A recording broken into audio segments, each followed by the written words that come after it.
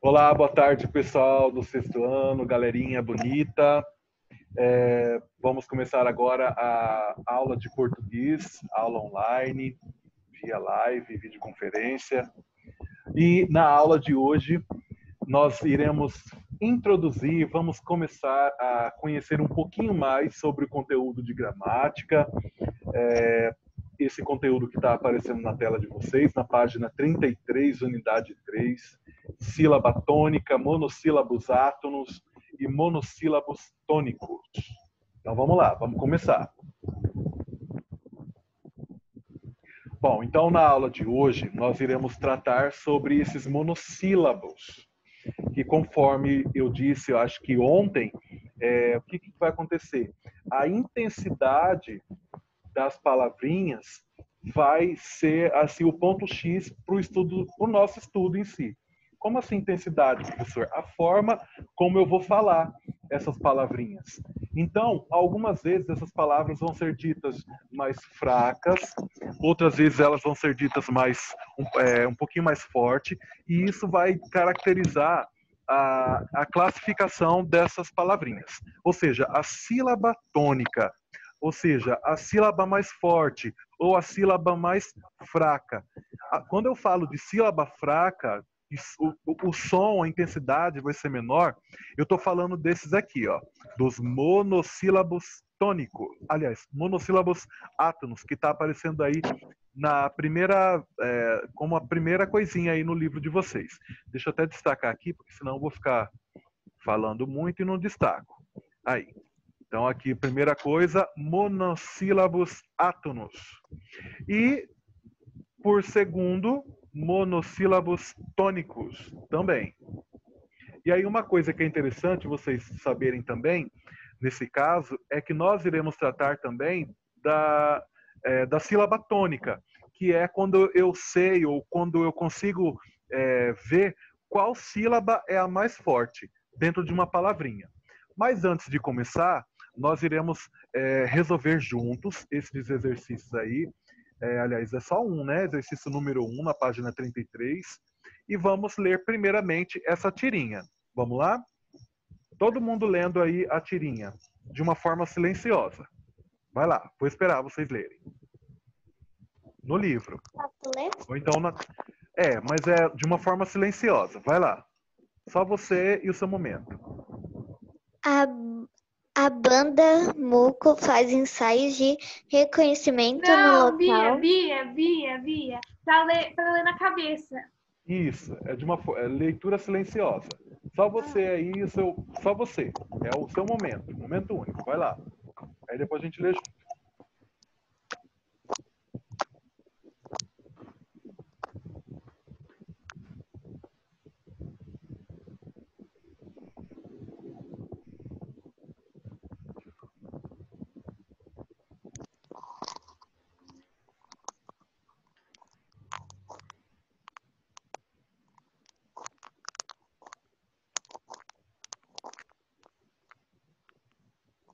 Assim que terminar, é só dar um ok. Já terminei. Também. Então tá. Vamos lá. Letra A. Explique por que, que o humor da tira é provocado pelo final espera, inesperado, aliás, da fala no último quadrinho. O que, que vocês colocaram aí? Aliás, o que, que vocês poderiam colocar como resposta, levando em consideração a leitura que vocês fizeram?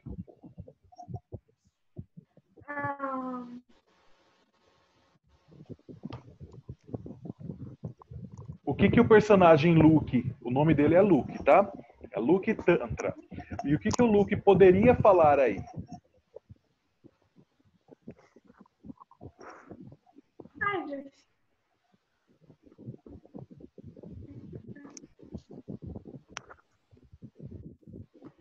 Vamos lá, vamos ler então novamente. A banda Muco faz ensaio de reconhecimento no local onde irá rolar o show. Aí o, o Luke fala: É, então está combinado. Entre uma música e outra, a gente dá um respiro. Aí, letra A. Por que, que o humor da tira é provocado pelo final inesperado da fala no último quadrinho?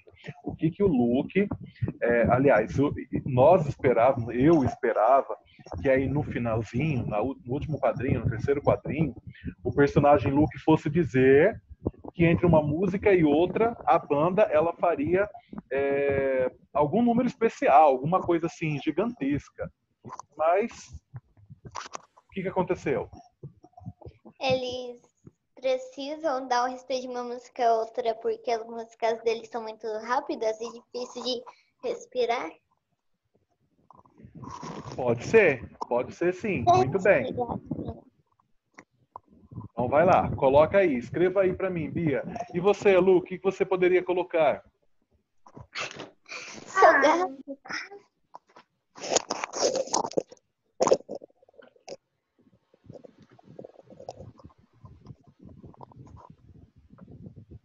Não faço a mínima ideia, professor. Que Opa, por que não? Vai lá, raciocina.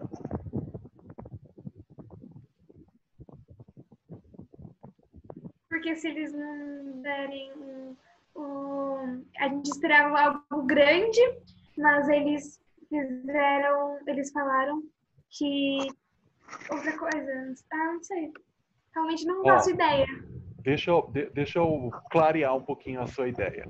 É, você está vendo aí, todo mundo está vendo que na primeira, no, no primeiro quadrinho e no segundo também está muito aglomerado, está muito apertado, não está? Esse quartinho não está muito apertado? Sim. E aí? Por que, que ele precisa respirar?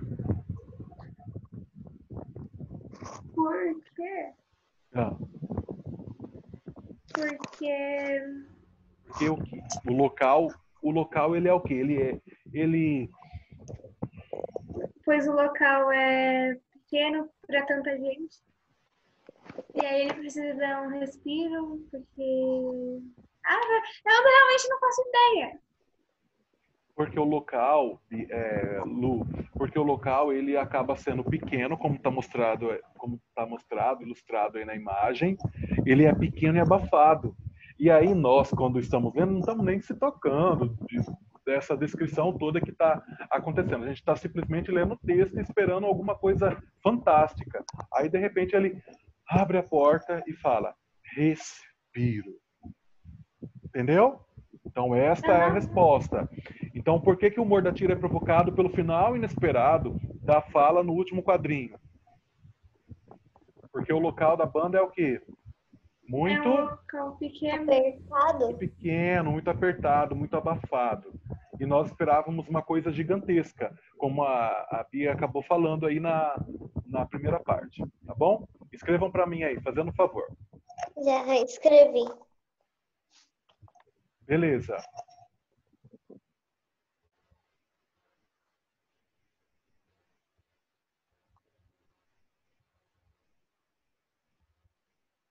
Hoje, professor, tá sem o áudio.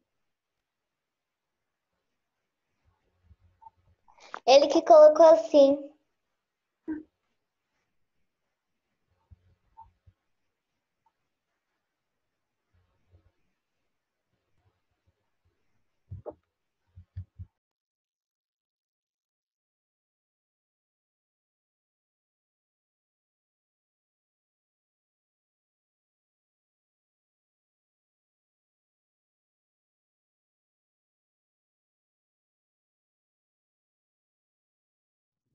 É, foi, eu coloquei assim, tava dando um aviso lá no Google, tá faltando gente.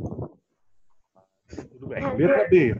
Leia em voz alta a, a fala da personagem no último quadrinho. Qual das sílabas da palavra respiro foi pronunciada com mais intensidade? E aí? Pi, Sílaba. pi, A sílaba mais Ih. forte. pi. Qual é a sílaba? Qual é a sílaba Ah, mais tá. forte? Pi. Então coloca pra mim aí.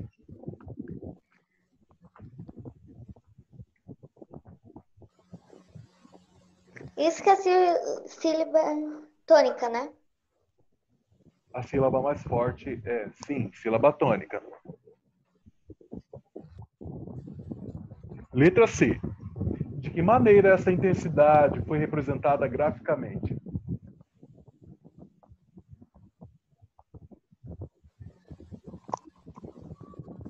Como que eu sei que essa que, que essa intensidade foi representada?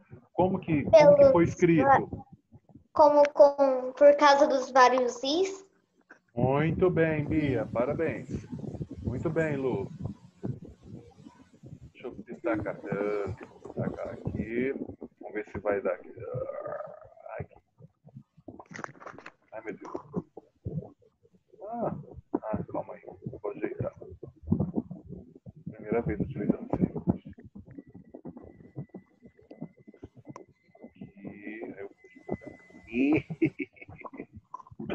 Isso mesmo, pelos, pela repetição das, da vogal I. Pela repetição da vogal I.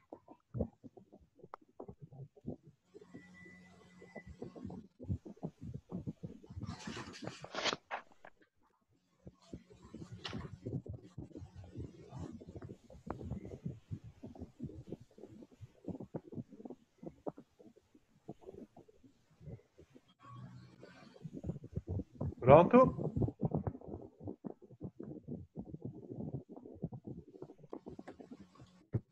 Página agora 34. Todos na 34, por favor.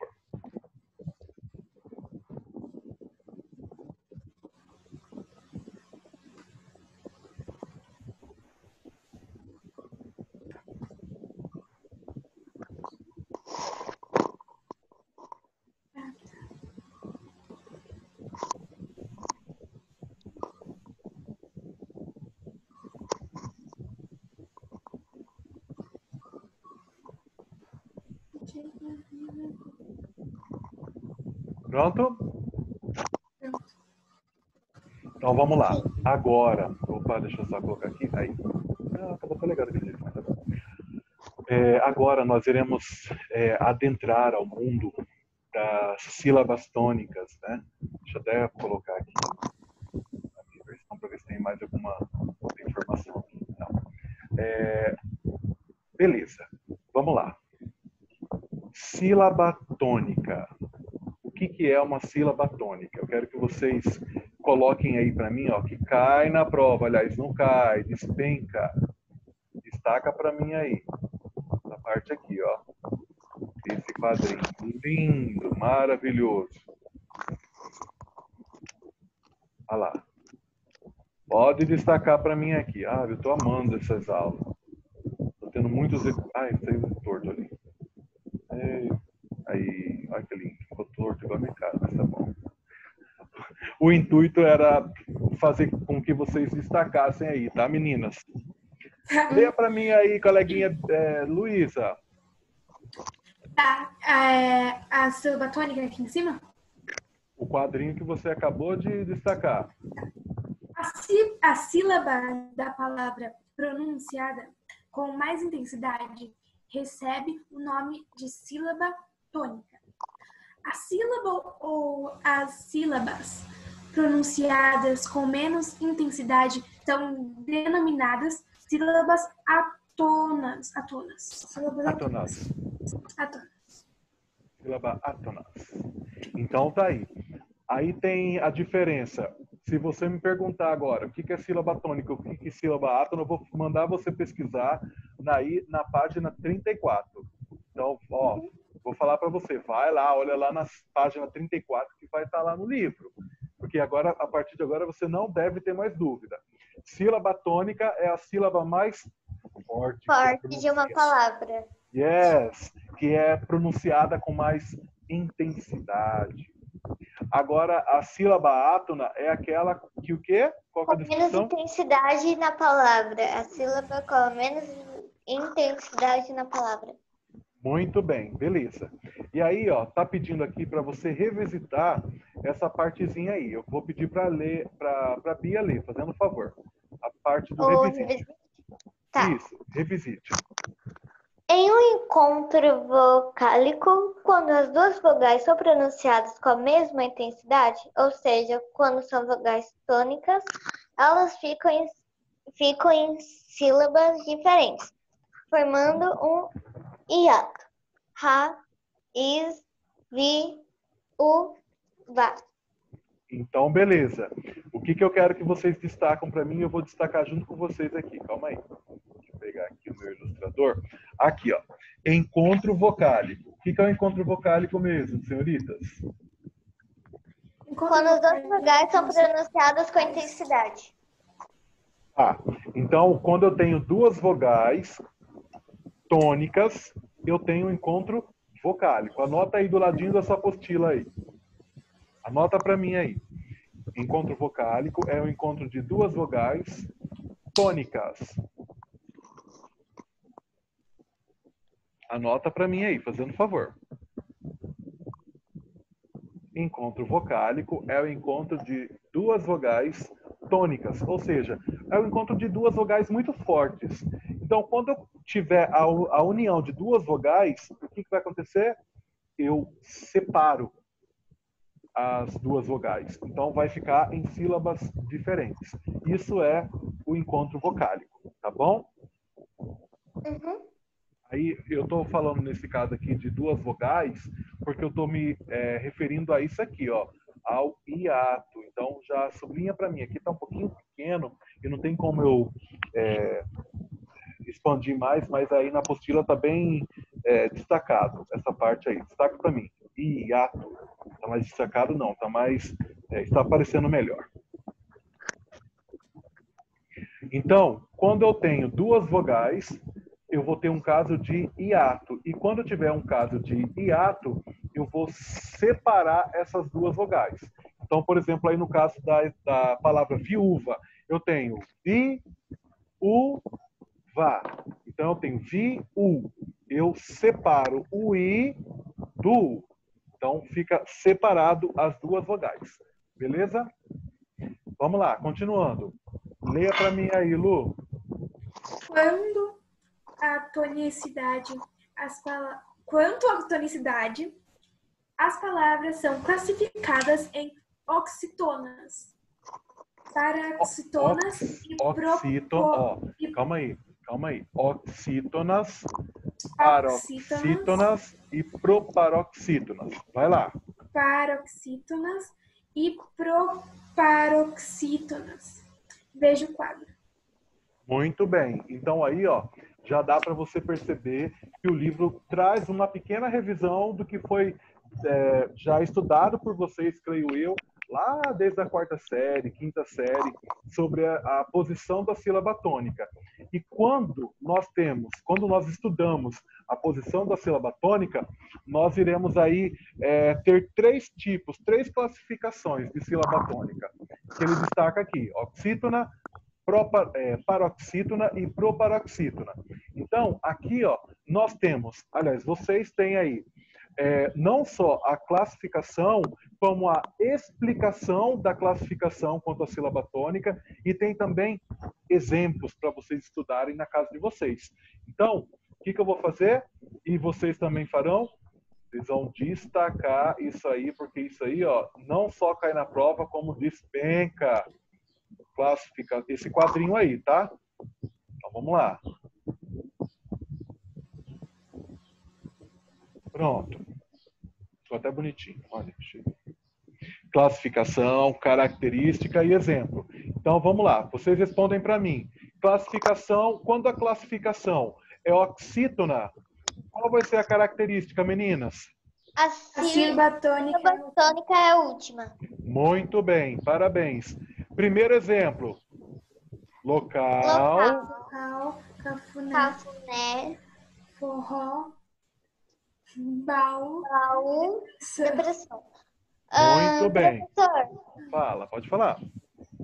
ah, uma coisa que a gente tinha aprendido é que na sílaba tônica, a maioria das vezes, a sílaba tônica vem na quando tem acento, geralmente. Quando tem acento, geralmente é a sílaba que é a tônica. Isso, no caso aí as vogais, né? Você pode ver aqui, ó, só não é acentuado aqui, ó, quando não tem vogal. No caso aqui, local. Ó, cafu, né, forró, baú, depressão. No caso aqui, o tio. Mas só que não é regrinha não, tá, Bia? Você pode ver que as outras palavras aqui embaixo terminam com vogal e elas não são acentuadas porque elas não são oxítonas, elas são paroxítonas. Depende muito aí então da é, dessa característica aqui que eu vou colocar em destaque. Quero que vocês coloquem também. Aliás, vocês já colocaram quando vocês é, aqui, quando vocês destacaram o quadrinho. Essas classificações aqui são muito importantes para vocês estudarem. E é mais uma revisão mesmo, tá, gente? Mas se tem revisão é porque a gente pode esquecer, né? Pronto. Então, paroxítona. Qual que é a característica, característica das paroxítonas? A sílaba tônica A é a sílaba é a penúltima. A sílaba tônica é a, a penúltima. E proparoxítona? A sílaba, tônica é a É antepenúltima. antepenúltima. Agora isso aí é regra, tá? Agora é regra mesmo. Toda proparoxítona, pode até anotar aí do ladinho, tá bom? Aqui, ó. Vou mudar aqui a cor. Toda proparoxítona é acentuada. Ou tem acento. Toda proparoxítona tem acento. Pode ver aqui, ó. Música, estômago, fôlego, higiênico, público. Todas, ó. Mu, to, fo, e, pu. Todas têm acento. Belezinha? Sim, Colocaram aí? anotei. Tranquilo, então. Monossílabos, monossílabos átonos e monossílabos tônicos. Espera só um pouquinho, deixa eu apagar aqui, por favor. Apagar as estrelinhas. Estrelinhas. Estrelinhas.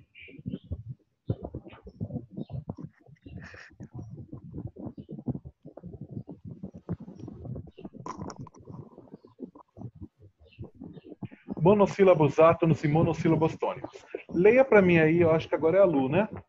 É a Bia agora. Vai lá, Bia. Eu li essa daqui. Tá. ah, a questão 1, né? Yes.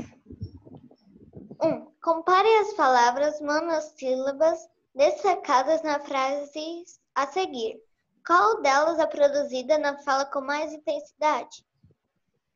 Entre uma música e outra, a, a gente dá um respiro. O show da banda vai rolar em um espaço muito apertado. E aí, qual que é o- qual das palavras? eh, Qual das palavras que é pronunciada com mais intensidade aí no caso? Dá? Acho que a dá porque tem o acento. Não, mas vai ser o dá mesmo. Mas qual dá que vai ter maior intensidade? O dá da O dá. primeira frase O ou dá da segunda? O da a primeira frase. Porque tem. Muito bem, parabéns. Então anotem para mim aí. O dá, aliás, a palavra dá da primeira frase. O dá da primeira frase. Aham. Dá. Dá. O, ó, aí, o, cadê? O, da, para não confundir, o da, da primeira frase. Pronto, para não confundir vocês.